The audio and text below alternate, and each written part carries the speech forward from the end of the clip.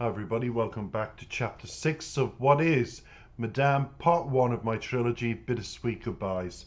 We're at the point where Nathan and Madame has just waved goodbye to his eminence and Father Peter and Madame concluded that it was a successful visit and that she felt very accomplished. But one of the priests that Nathan and his brothers during school time had encouraged to go down to the basement of the warehouse Father, who was the the person who runs the warehouse is Father Peter, to go down and see if there's any of those stories that are floating about true in regards to there is a body in a coffin and other things that they've heard. Was there any truth to it? Father Peter waves the letter, and Nathan takes that letter, and in the secrecy of his bedroom, he opens it. This is both a revelation and the start of what's to come and the build up in the drama of the whole book. Now, in his bedroom, he opens the letter. Chapter 6 is called The Awakening because now the brothers and himself are starting to awaken to there's a lot more going on around them in the warehouse than they've ever known before. And now they get a taste of it. When I returned to my own bedroom, I threw the letter on my bed and tried my best to ignore it. I succeeded for a while by convincing myself that it was nothing of concern. And let me just stress that this is told through the eyes of Nathan, the whole story. One of the children that Madame is looking after in secrecy.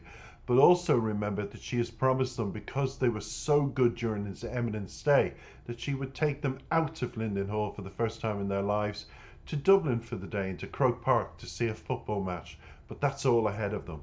And this is the awakening. So we'll start again. When I returned to my own bedroom, I threw the letter on the bed and tried my best to ignore it. I succeeded for a while by convincing myself that it was nothing of concern. Finally, curiosity got the better of me, and sitting myself near the bedroom window, I opened the letter and began to read. It began, Dearest Nathan, I write this letter to you in the hope that what I've said should not be mentioned to anybody by you, Nathan. There is a lot to tell, but I've little time and paper for that matter. You were right. There is a hell down in the basement of the workhouse.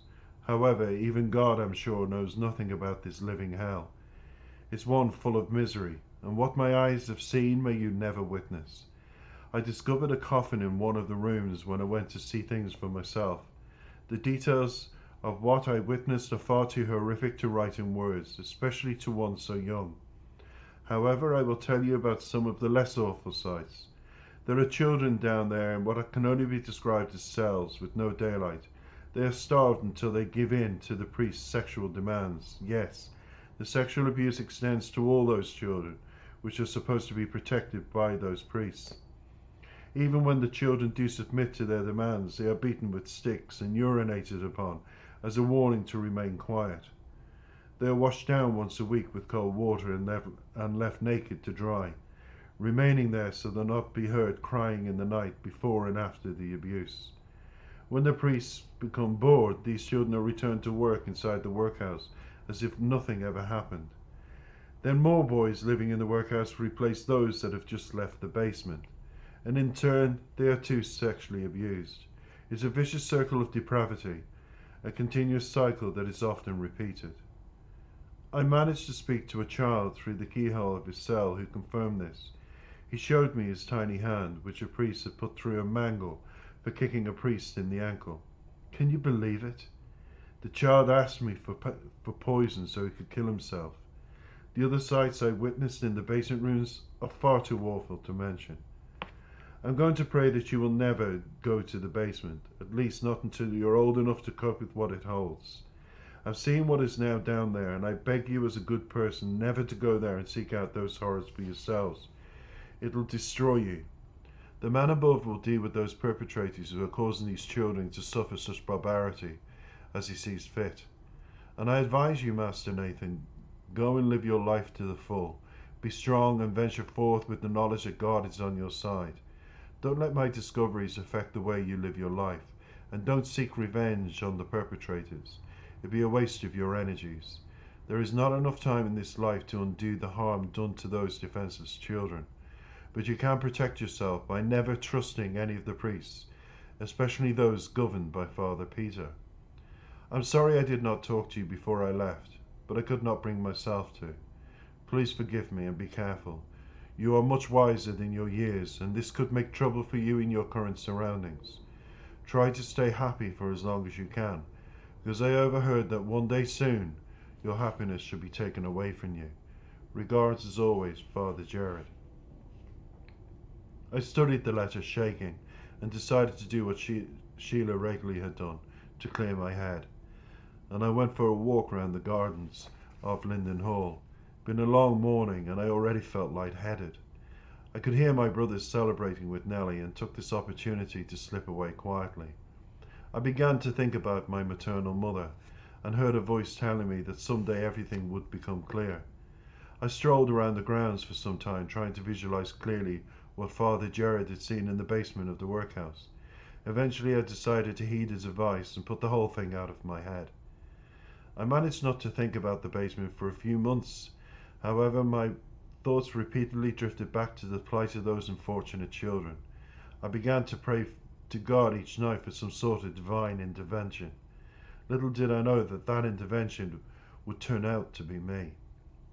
On returning from my walk, I discovered that Madame had brought the day trip to Dublin forward to the following day, and my brothers were all numb with excitement and jumped around the place with joy at the prospect of finally tasting freedom. Tomorrow, tomorrow, we're going to be free. Tomorrow, exclaimed Adam when he saw me approaching. Yes, isn't it wonderful? I replied, trying to sound happy. And though I was guilt ridden from thinking about the, co- the poor kids suffering in the workhouse, I did what I could do to forget. Anyway, what could I ever do to help? I thought. We talked about the trip for the remainder of the day, and the following morning was a bright sunny one, and the boys decided to pack all they needed. Had found a book about Dublin, so of course this was the first of many things to be packed. And I, on the other hand, didn't do any packing. When asked why, I told my brothers that I wanted to travel light, and the only thing I needed was to bring myself. I'd already ventured outside Linden Hall on my trips to the workhouse. It was different for my brothers. They'd never been anywhere from the day they first entered. Only now in their teenage years were they getting to taste some freedom but I was elated that at least my brothers were going on a trip together.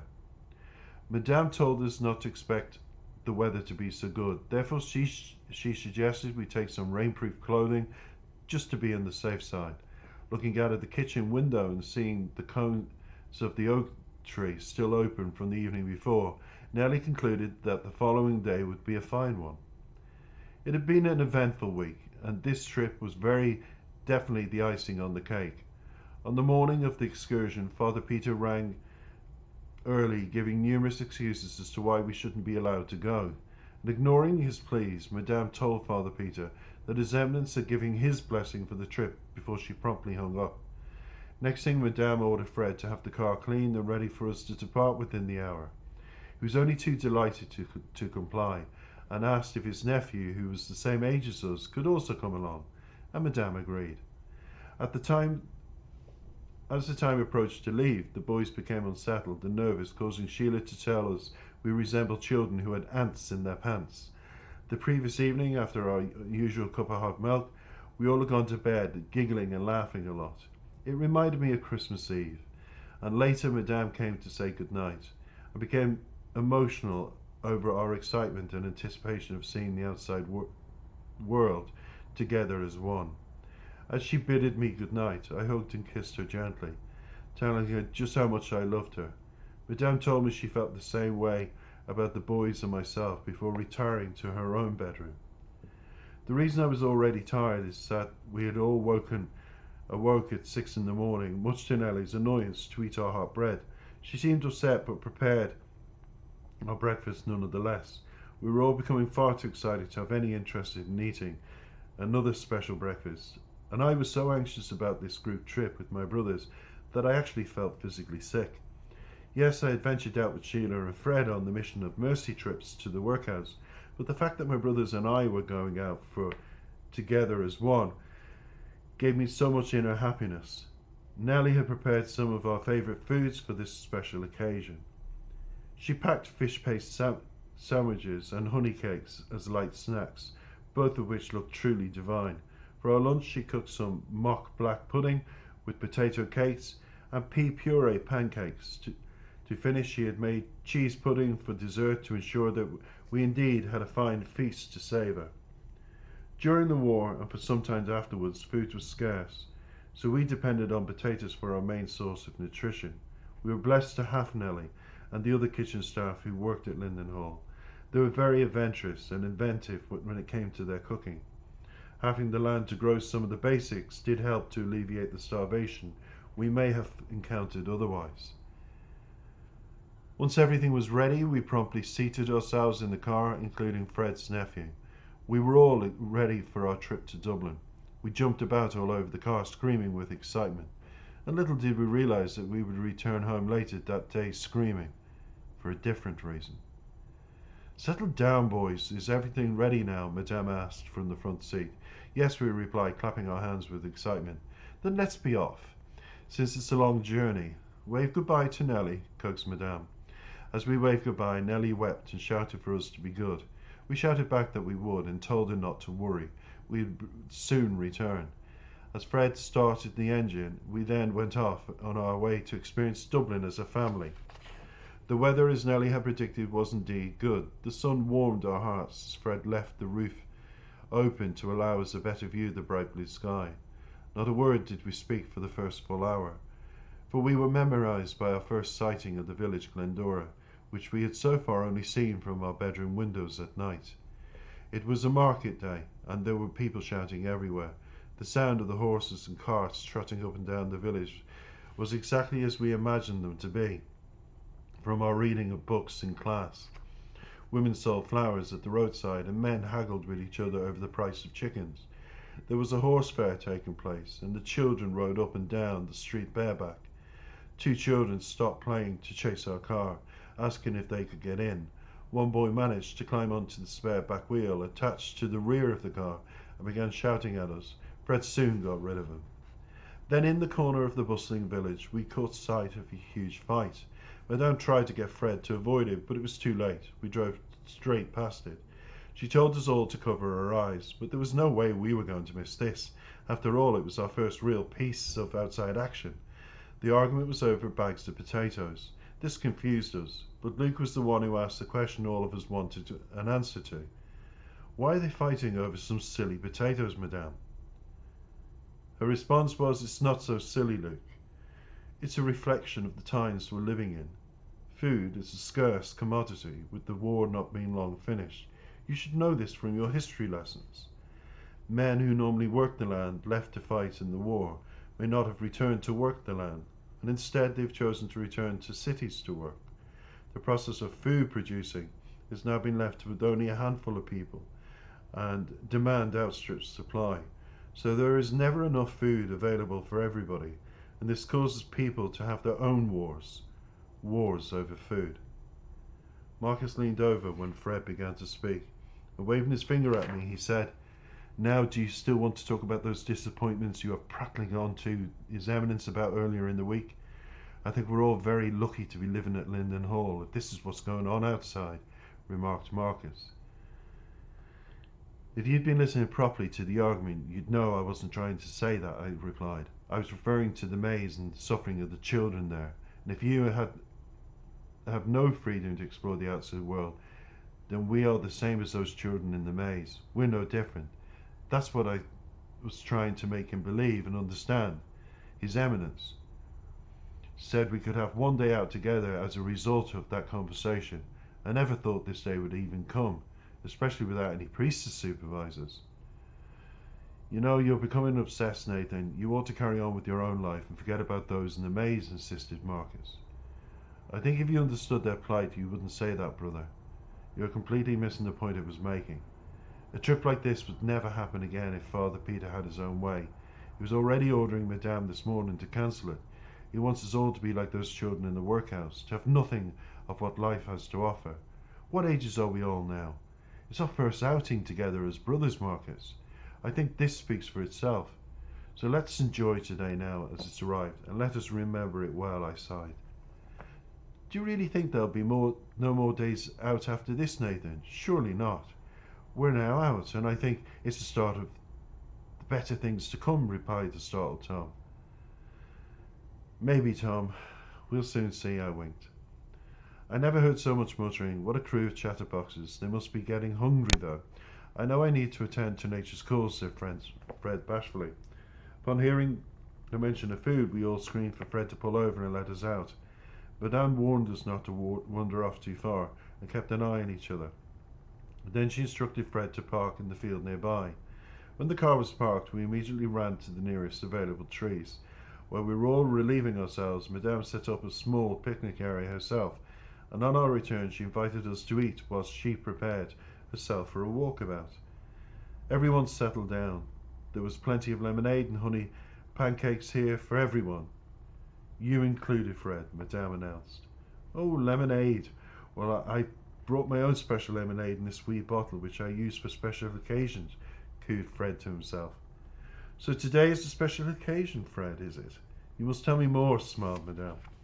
Well, Madame, it's not often that I get a break from duty on such a fine day, with a great bunch of lads and a wonderful employer and friend, and get to enjoy a day trip out to Dublin with ye all, replied Fred gleefully. Why, thank you, kind sir. Your words are as colourful as the blooms I see before me, laughed Madame playfully.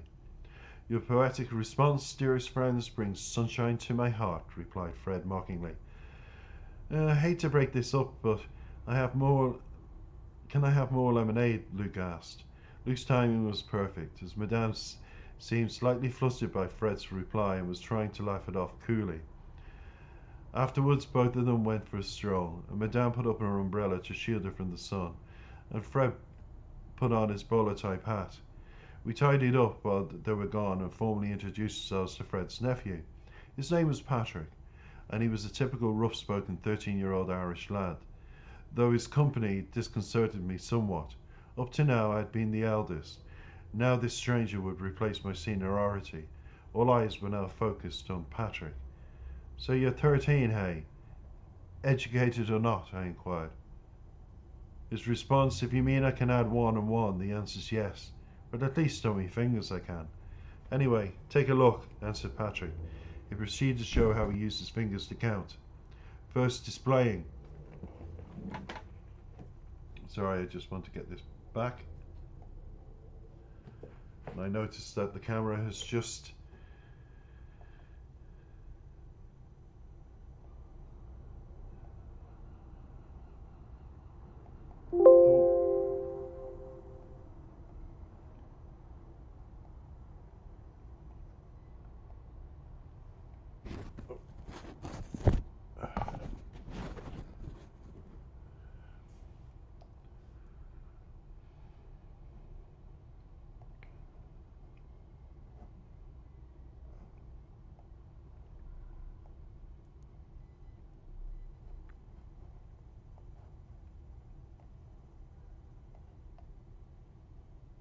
I know some people would like to see me, so sorry about that.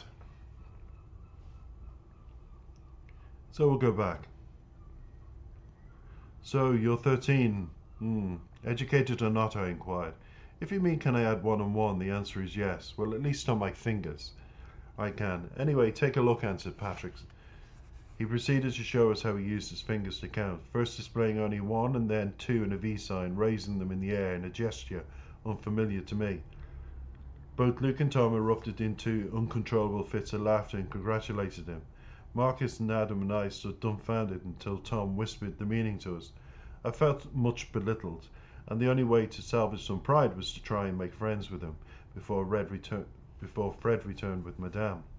Fred speaks very highly of you, Patrick, said Luke. Really? That's strange, as I met my uncle for the first time only a few weeks ago. Before that, he didn't even know I existed. So very surprised he has much to say about me, replied Patrick wearily. Right, well, maybe I'm confusing you with somebody friend gives a shite about. Oh, sorry, if I offended you, snarled, snarled Luke. Your speech is similar to that of someone who has come from one of those workhouses, added Tom abruptly. I don't come from one of those workhouses. I've never been battered or abused. Of that I can assure you, said Patrick, raising his voice. In fact, each one of you could have come from one of those places if was all right. Only for Madame offering you a home, that's where you all would be now. Fred was right when he said that tongue of yours would get you into serious trouble one of these days asking so many questions, Master Nathan. So listen here, all of you. Until I get to know you properly, I will not answer any more of your questions, okay? replied Patrick on defensively.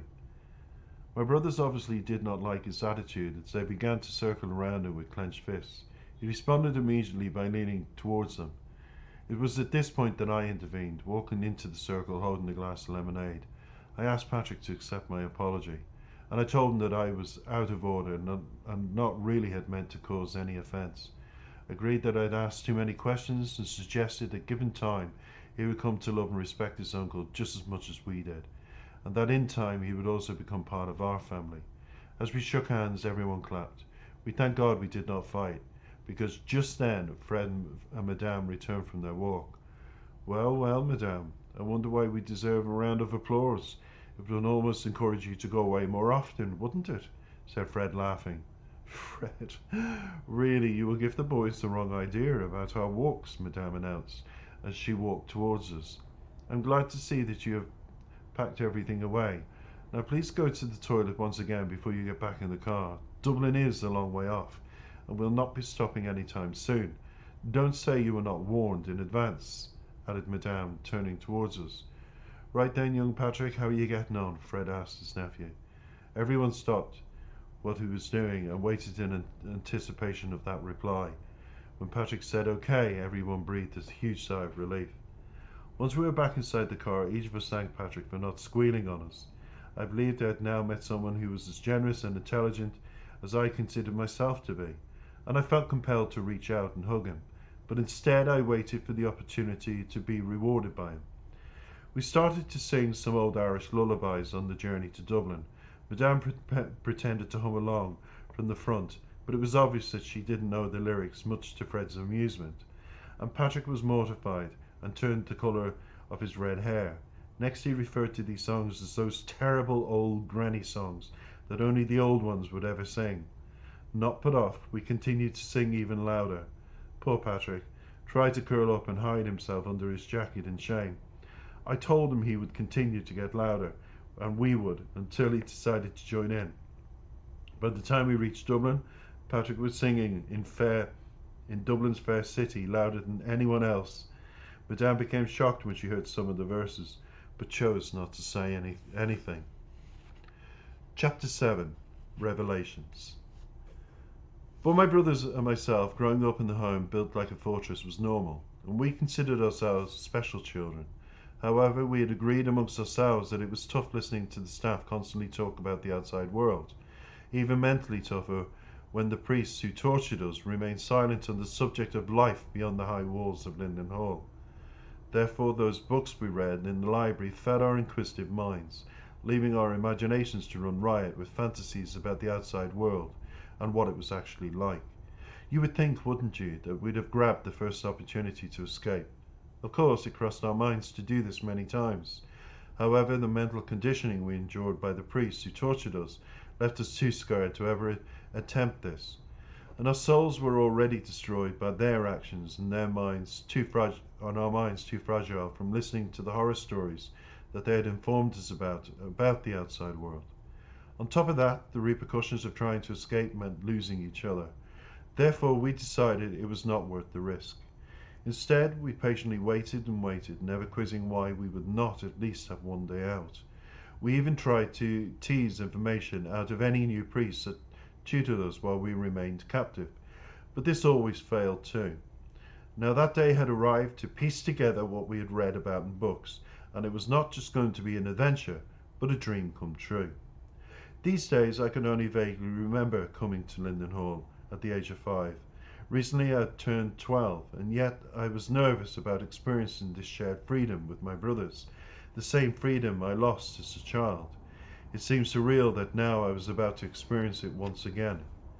I knew it would be short lived, only one day, but still, I was trembling at the thought of experiencing the first normal day in our restricted lives. Our silence grew as we entered Dublin, and the array of buildings that greeted our eyes was nothing like we'd ever seen before. They were tall and beautifully crafted with Georgian features that would captivate even the hardiest of people. Our eyes became bigger than our heads, taking in the sights. Madame explained the history behind the buildings of such fine homes and told us they were now divided up into tenement flats for the growing population that had moved into Dublin seeking work and a better life. In these homes they had lived in cramped conditions. My mind started having memory flashes, and before man had, Madame had a chance to finish her sentence, the area we were now entering is called. I called the name out instead. It's Mountjoy Square, Madame, I yelled aloud. I surprised everybody with my outburst. It happened with uncontrollable sense of urgency, and Fred looked into the rearview mirror and smiled at my knowledge even though he echoed Madame's concern that it was a rough place and one for us to avoid. I implored them both to drive as near to the place as possible. It was very important for me, and I made the excuse that I wanted to see the other half, the other half lived before travelling on to O'Connell Street. Nathan, you seem very anxious to see somewhere where I've been told to avoid, and I think it would be better to be wiser to follow my instinct on these matters in order to avoid and prevent any problems. Why on earth, Nathan, would you want to, and or even feel the need to go there? Madame inquired. Madame, I wouldn't ask, but there's a burning desire within me to see it. Please, I don't wish to hold you or back from your day's outing. But I feel I know this place. I don't know how, but my instinct tells me I do. Please, can we? I implored. Really, I, I don't know how this could be. I think those books you have read are confusing your mind with reality.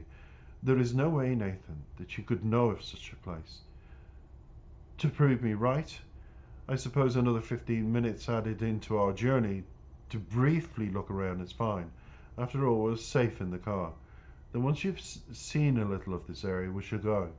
That way will not deter us from enjoying our day as planned, replied Madame, while, while instructing Fred to drive around the area.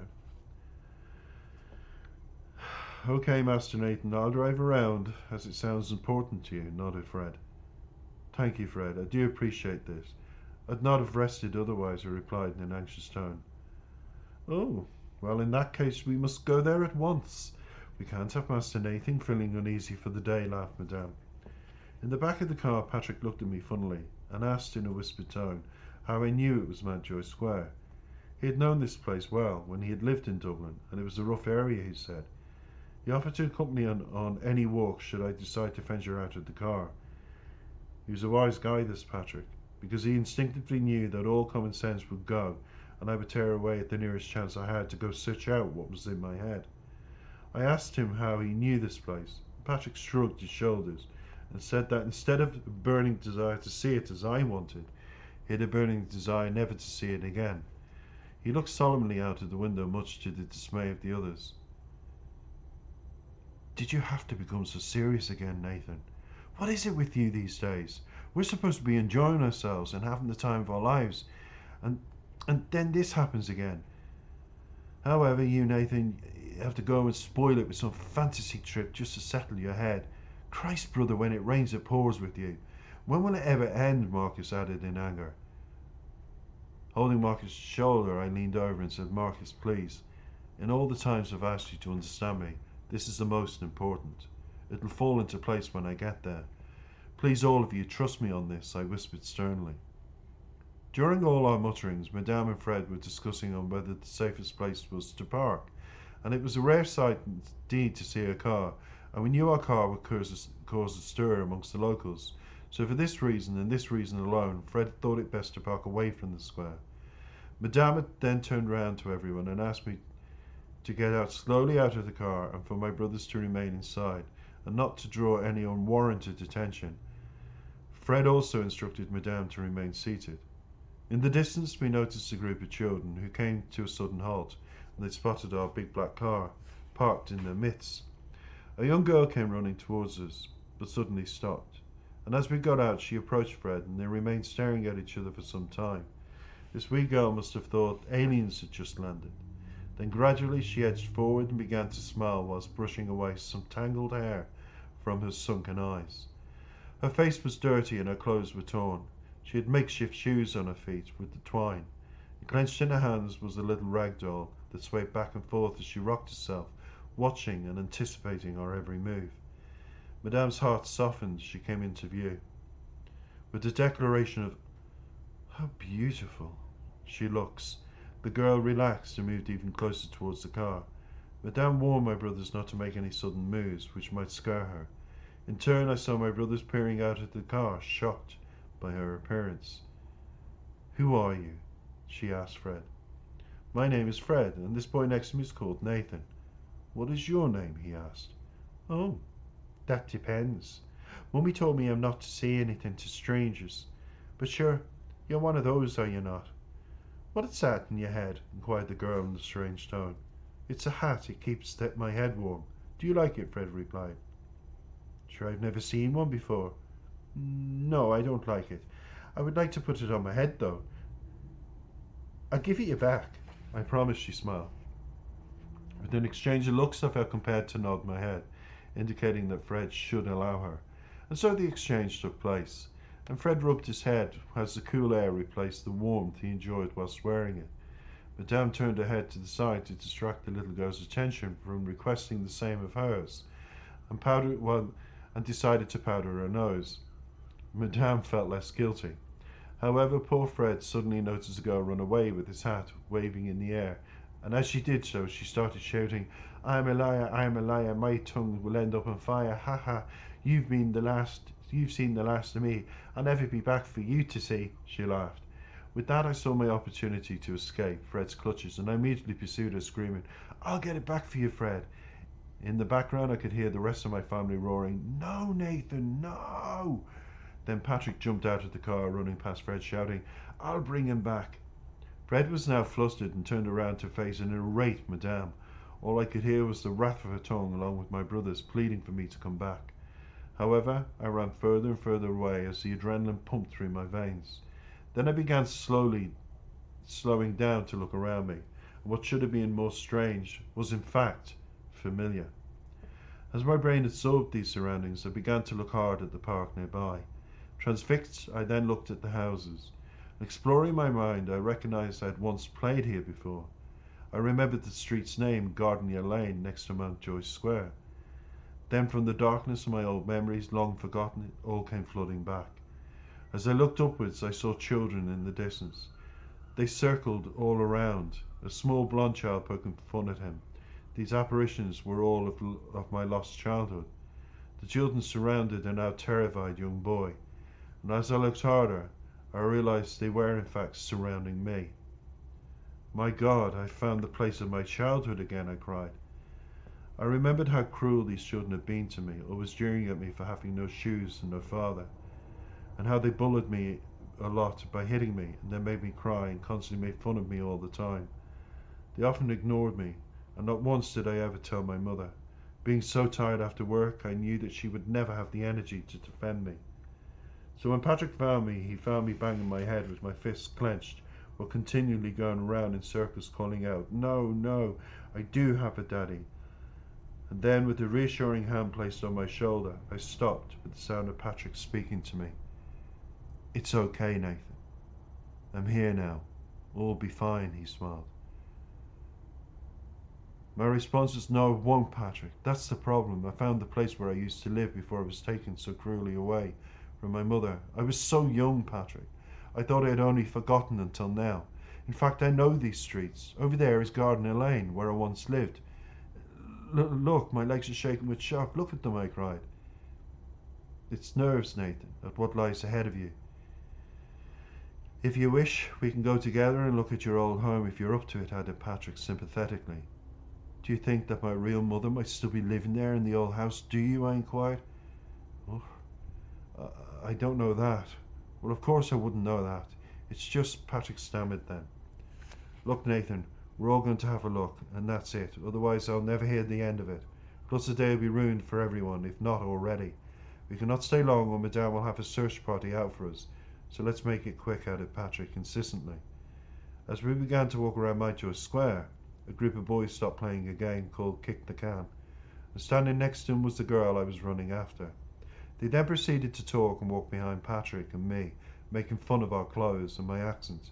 The young girl kept shouting, I told you, I told you.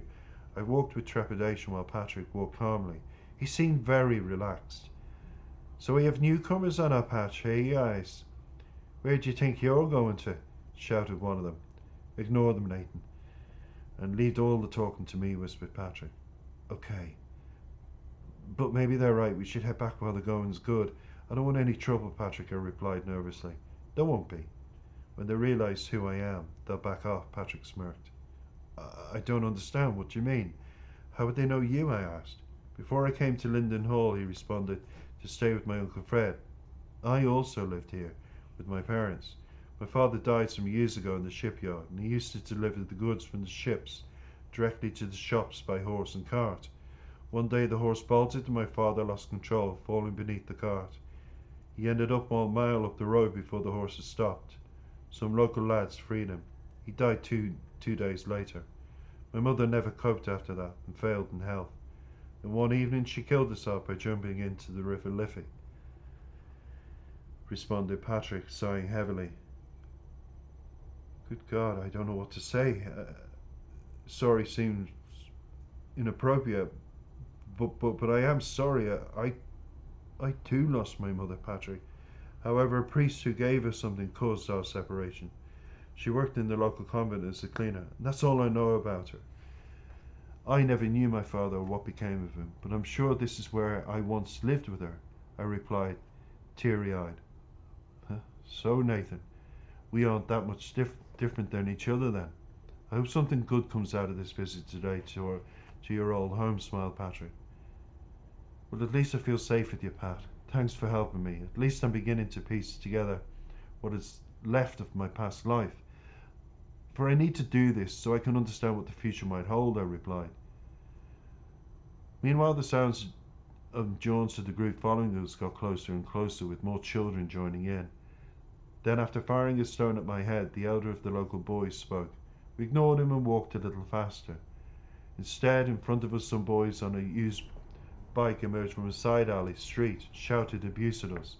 Then, as we walked across the street, some older people met us and shouted, where the fuck are you two sissies going to? It became scary being in the midst of such poverty, especially as we were dressed as two public school kids. And of course, we drew only suspicion and anger from the locals. Women talking over the hedgerows stopped and stared and then laughed at us. Ooh, we're honoured. Look at what graced our presence. We have royalty in our street. Nice shoes, Blondie. I'd love them for my young'un, sniggered one woman. My, my, Sylvia, they look scared. What are you up to here, lads? You seem lost. Can I help you at all? asked the other woman, puffing on a cigarette. Yes, we're all looking for my mother and wondered if she still lives here, I asked. Your mother? Hmm. Your mother, you say? Well, she must have done well in life with you, dressed the way you are. Anyway, son, what was the name? asked the first woman. She was known as Margaret Reynolds. It would have been seven years ago now, or thereabout, I replied. Hmm, thereabout. Very formal indeed, especially for a boy so young. Let me see. What did you exactly do for work like? inquired Sylvia, nudging the second woman. She worked in the local convent and was a good friend of Robbie Garrett, I asked. I responded. Now there's a family name I thought had never be mentioned again. You remember the Garrett family? Geez, they ruled these streets while they lived here, so they did. The mother was committed to a lunatic place. You know that. Actually, yes, crazy women. What did you say your mother's name was again? asked Sylvia. Margaret Reynolds. She was very beautiful. Long black hair to her knees. She always, always tired. I remember people liked her a lot, I smell. Margaret, you say? Hmm. Well, let me think. Where did you exactly live? asked the first woman. I think it was the last house at the end there, I stammered. But that cannot be. Sure, I've lived. I lived there, my child, for over twenty years now. No, no, unless you are. But, but this cannot be. I, I mean, my God, heaven upon high, it can't be Madge's little son, Michael. Your mother lost you, she told me. As if you are indeed the same child who now stands before me all grown up. You lived in the basement flat, didn't you, son? she asked. She continued. I think so. That makes that makes sense, I, I responded. Of course it does if you've the birthmark on your right cheek, she replied. Not to my knowledge. I'd have noticed it by now, surely, I replied. No, no, you're right to be confused, son. I meant on your arse. I don't know how, how to say it posh, but yes, your bum. Yeah, that'll have to do, she nodded. Don't know, to be honest. Could never quite see that far, I mumbled cheekily. But if you want help, you will do the honours and let me say, come in to me. Well, we find out, and soon enough we'll have the answer. You have to be legit, as no one else would have known those details of Maggie's. I used to babysit you on a rare occasions for your mother when she worked late. This is how I know you have that personal mark in there. Look, we've all got to call it a day, Nathan. So go inside and do what you have to do. I'll wait outside here and deal personally with our unwelcome visitors, insisted Patrick, staring at all the kids surrounding us now. Okay, I'll be back soon, I replied, hopefully. And as I ventured into the woman's house, I could not believe the mayhem. Looking around me, the first thing that hit me was the smell of urine and feces coming from the slop buckets. She explained that this was the last job of her day.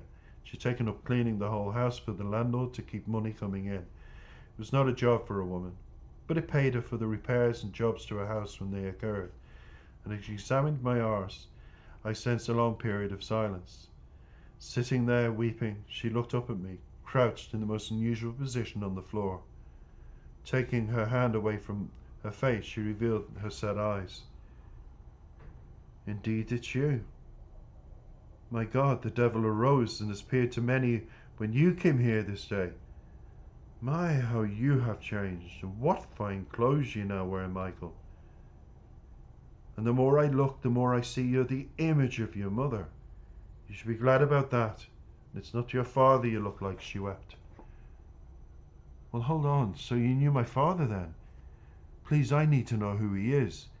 You cannot tell me half a story without finishing it. Please, I begged her.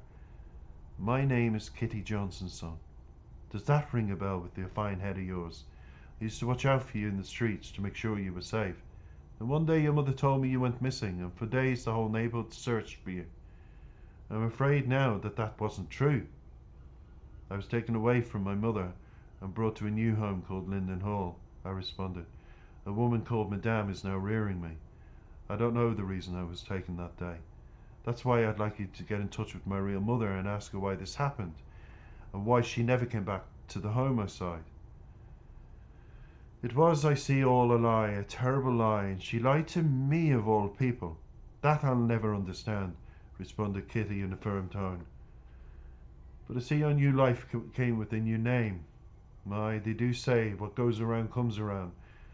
And if this is part of it, well, the shite has hit those buckets.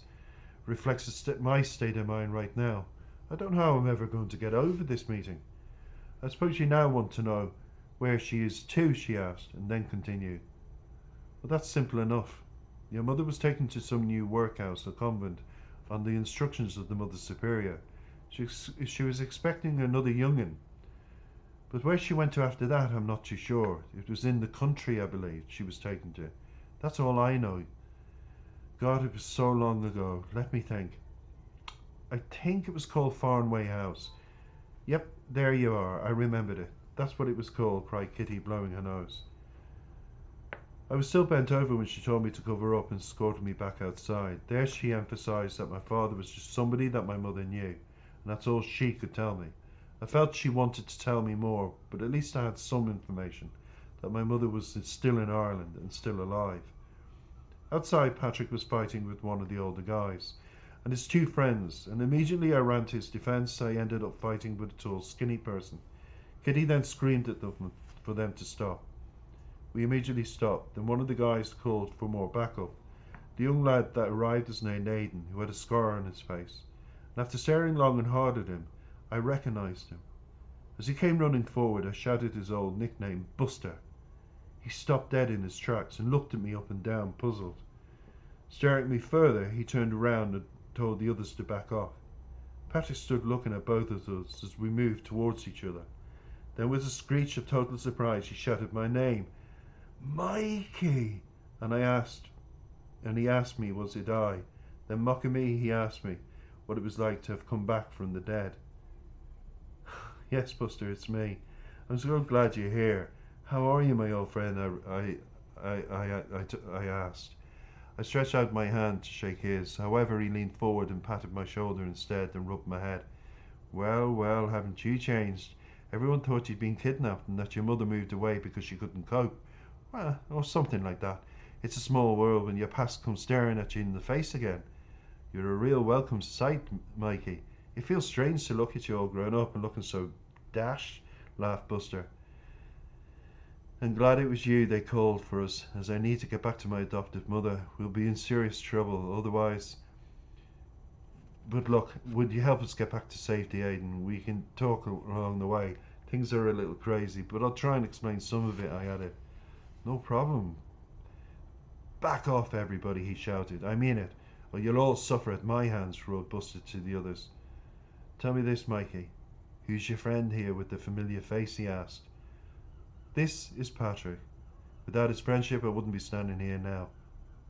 Turning round, I looked at him hard and said, Thanks, Patrick. You've no idea what this meant to me. I'll implore Fred and Madame go easy on you, I promise, I said. In response, he replied, Don't worry, Nathan. I mean, Mikey. I'll be okay. I can look after myself. Indeed, you can, Trigger. Jeez, God, what a day. Two runaways come back to the homestead. This dump must be doing something right, bringing you two back. Sorry, Kitty, for upsetting you, Buster shouted to Kitty. Well, I have a little task for, for them ones over there fighting my guests. Seeing as I've a bad back, if they can help me, I'll forgive them for upsetting my friends here, smirked Kitty, winking over at Sylvia and me. Whatever it is, they'll do it, right, lads? insisted Buster, turning to the other children. Yes, came back their response. As we made haste, back to Madame, we decided to make up a story that we got lost and found each other again through Aiden. And as I walked back to the car, I inquired how the two of them knew each other, and explained through rival gangs and fighting. Aiden declared that if anyone had once suggested that he'd be talking like old friends, he would have punched them for their stupidity. And then Buster and I started to reminisce about old times. I struggled with the information I was hearing about my old homestead and Manchester Square and the things Buster and I once got up to. I tried in vain to piece so many things together in the gaps in my head I had about those missing years. There was no answers for me concerning my real mother when I inquired. Anyway, we were all children after all, in a time when adults either worked, drank, or simply did not care. We'd survived by spending all day playing games with each other or walking the streets.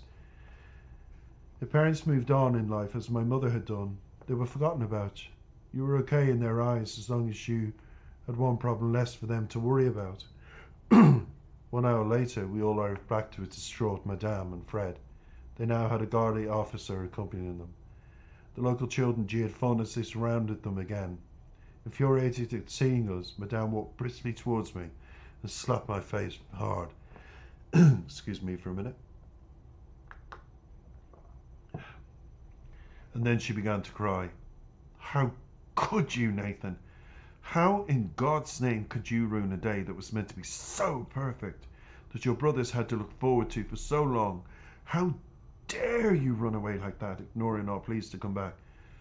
You've ruined this day for everybody, shouted Madame continuously. As for you, Patrick, you're not my concern. But I think your uncle will have a few choice words to say to you, continued Madame. I hope you both have a good explanation for what's been going on for the last hour. It's been the longest hour of our lives. Really, Patrick, being the eldest, I would have expected you to have behaved more responsible. There's no excuse for ignorance. If you had not consideration for yourselves, then you ought to have shown some towards those you left behind. Behind, shouted Fred. But I wanted to take the blame. After all, if I hadn't run away, then none of this would have happened, Madame. All I can say is I'm truly sorry. My brother's I'm sorry to all of you. To you, Fred, I'm sorry as well, who have looked up to you as a father figure for so long. Uh, Mr. Gardy, for your time that's been wasted, I'm also sorry. And I, I continued in a distraught tone.